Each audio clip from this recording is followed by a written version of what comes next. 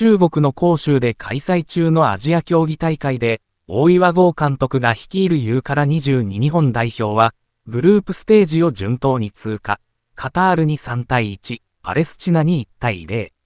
ラウンド16ではミャンマーに7対0の大勝を飾り、北朝鮮と対戦する準々決勝へ駒を進めた。フォト、長谷川優衣のダブルピース、直本光の決めカット、熊谷咲のキラキラネイル。なでしこジャパン FIFA 公式ポートレートギャラリー22人中 J リーガーは12人のみで、10人が大学生というメンバーながら、盤石の強さを見せている日本に、開催国のファンも驚嘆しているようだ。中国メディア、直巻場が掲載した日本に関する記事のコメント欄には、羨ましくて泣けてきた、アジアの光、日本代表で一番かわいそうなのは GK だ。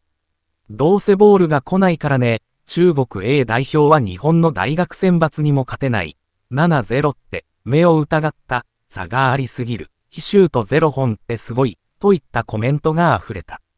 準々決勝は10月1日に開催。中国は日本と並ぶ優勝候補の韓国と対戦する。厚生黒丸サッカーダイジェストウェブ編集部。